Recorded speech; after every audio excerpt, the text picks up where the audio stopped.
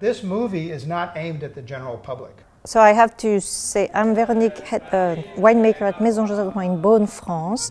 I would like to invite you to see a wonderful new documentary film about passionate people working in the wine and food industry of Burgundy's Côte d'Or.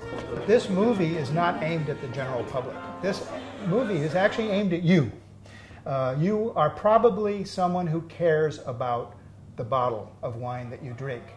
You care about it. You want to know about it. You're a person who loves to travel.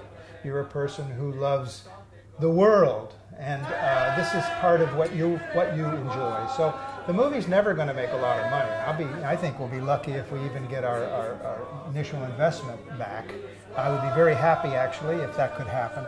But um, that's not why we made it. We made it for wine lovers.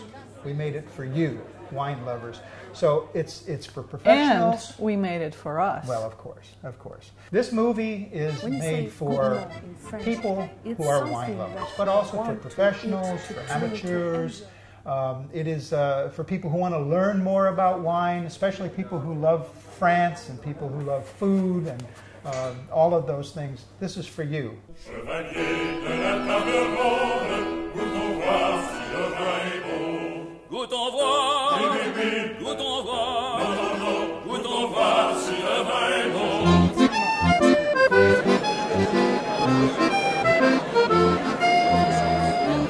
There's something magnetic about Burgundy that brings you here. It's almost involuntary that you get to this place to drink wine that you could drink anywhere else in the world, but here it tastes better.